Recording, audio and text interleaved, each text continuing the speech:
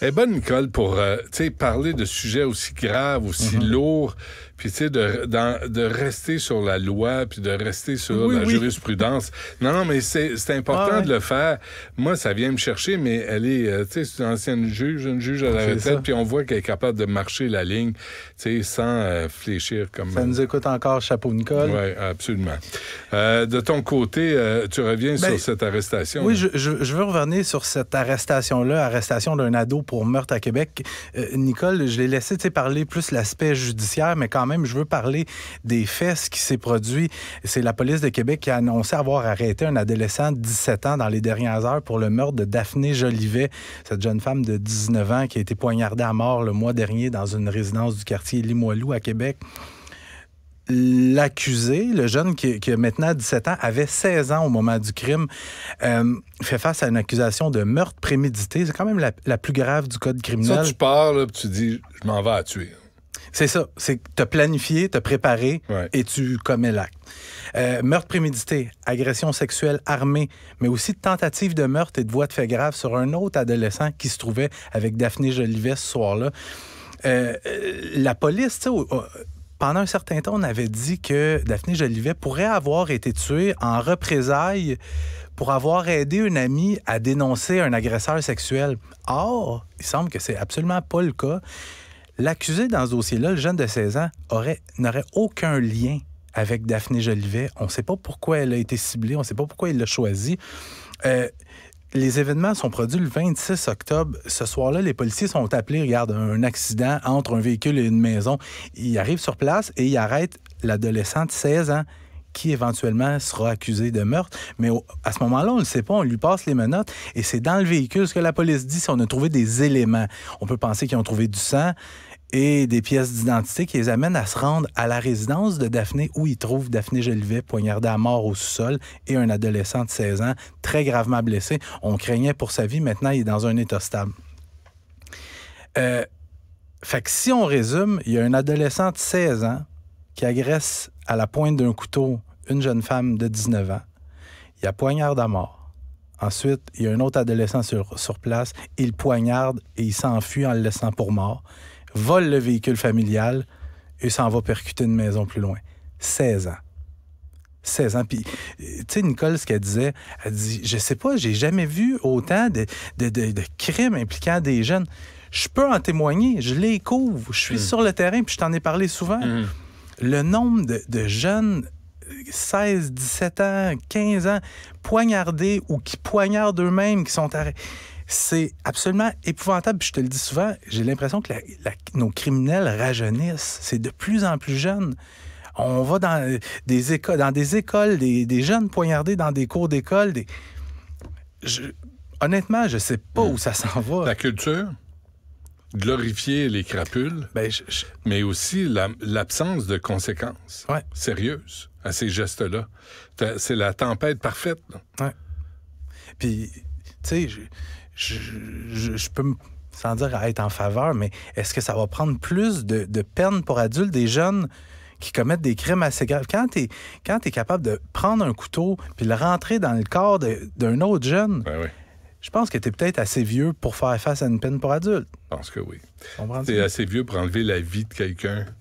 Que tu es assez vieux pour subir les conséquences de ce geste-là. je, je dois dire aussi, le, le jeune de 16 ans ajoute à ça des conduites avec les capacités affaiblies Ah ouais. et euh, euh, euh, vol de véhicule. Un bon gars. À 16 ans.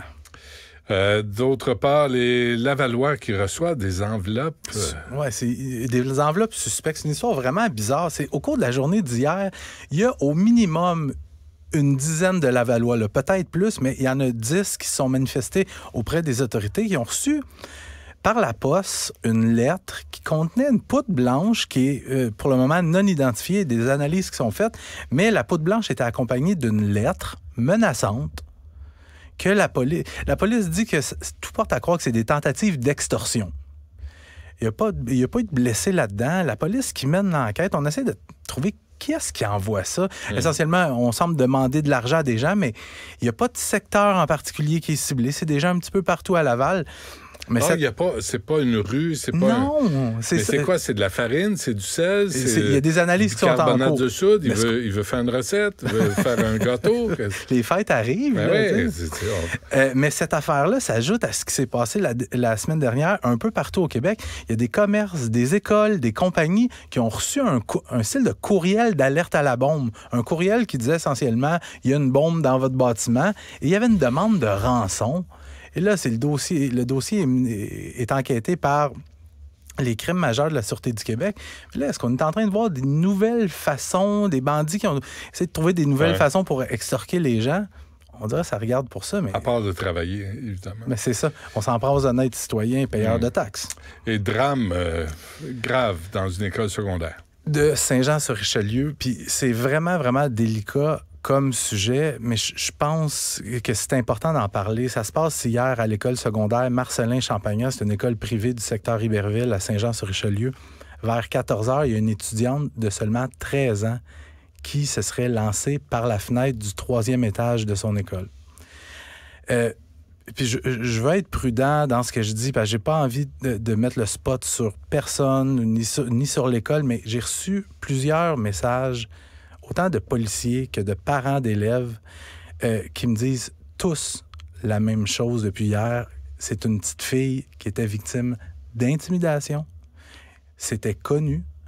Et selon ce qu'on me dit aussi, elle aurait déjà exprimé ça. Elle, aurait déjà mentionné mhm. qu'elle était victime d'intimidation. Et il n'y aurait rien qui aurait été fait.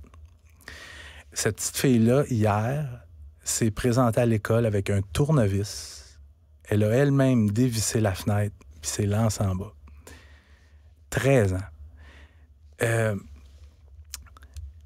l'intimidation dans les écoles, c'est un problème extrêmement grave. Puis hmm. je pense qu'il va devenir encore plus grave avec tous nos jeunes qui sont sur les réseaux sociaux, puis ça s'écrit beaucoup via les réseaux sociaux ça prend pas grand-chose. Il suffit, tu sais, une petite fille qui a peut-être, euh, je, dis ça un exemple, une petite fille qui a une sexualité peut-être un peu plus précoce que les autres, qui va avoir un petit copain, puis là, il va se passer quelque chose. Juste une petite affaire comme ça est suffisant pour mm. te faire intimider pour le reste de ton secondaire. Mm. Des parents qui sont, euh, des, des jeunes qui sont issus d'un milieu un petit peu plus pauvre, qui peuvent être intimidés tout leur secondaire parce qu'ils n'ont pas des vêtements griffés ou des, des, vêtements au goût de tout le monde.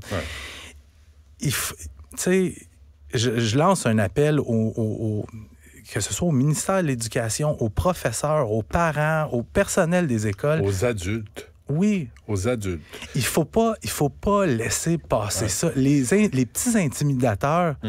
il faut qu'il y ait des conséquences sévères. C'est pas normal que, tu sais, je, te le racontais tantôt hors d'onde. Je parlais à un policier tantôt qui me racontait que lui, il a lui-même décroché un ado de 13 ans qui s'était pendu parce qu'il était intimidé. Les, nos jeunes de 13, 14, 15 ans ne devraient pas se suicider parce qu'ils se font écœurer à l'école. Ben c'est un problème qui peut être réglé, c'est pas super compliqué. Hum. Et les adultes de ces intimidateurs doivent être aussi interpellés. Absolument. Comment t'élèves tes enfants? Quand tu te mets en gang contre une personne, tu es un trou du cul. Il n'y a, pas d'autre mot. Tu es un trou du cul. Tu es un large parce que tu te mets en gang contre une personne. Et c'est ça qu'on voit dans les écoles. Tu es un trou du cul. Puis là, à un moment donné, il faut que tu pognes, il faut que tu pognes les parents, puis dire là, là. ça suffit. maintenant. Pas demain, ça suffit maintenant. va voir ailleurs si, euh, si, si tu es capable de rentrer dans une école. Là, à un moment donné, on va protéger les victimes, puis on va intervenir auprès des agresseurs. Mais ça n'a pas l'air parce qu'il faut tendre la main. Tu sais, on n'a pas eu de nouvelles, là. Le, petit baveux, là, qui a fait mettre le, jeune à, genoux, là. On n'a pas de nouvelles de ça. Est-ce qu'il est-tu encore à l'école, ce petit Chris-là? Je ne le sais pas. Puis l'histoire là-dedans, c'est que quand ces jeunes-là sont arrêtés, accusés, on ne sait pas leur nom. On sait pas. Il n'y a pas de temps de suivi qui se fait. Dit... les parents, euh, ils font quoi? Ils ont réagi comment? Tu sais, est-ce qu'ils ont dit, hey, bravo, t'as été, euh, as été hmm. un tough? Mais tu sais, aujourd'hui, aujourd'hui, euh, il y a plein de gens qui ont bien de la peine à l'école, mais je pense qu'il y a eu des signes avant-coureurs, puis on doit écouter ces jeunes-là. Ouais. Je termine juste en terminant, juste changement de registre. Euh, on parle beaucoup de vol de véhicules ces derniers temps. Équité Association qui a euh, publié son palmarès des véhicules les plus volés euh, dans la dernière année, dans l'année 2022. Encore une fois, le CRV le plus volé. Il y a un véhicule CRV volé à chaque 90 minutes au Canada. Ça doit aller le mien, moi. Ben, En- achète-toi une Chevrolet En, Volt. 2000, non, mais en 2002. là, Achète-toi une Chevrolet Volt. Il y en a eu une seule en 2022 au Canada qui a été volée. Tu vois, c'est ça, c'est ça le truc. Ben, ouais. Euh, merci, euh, Max. On se reparle demain. Du Trisac.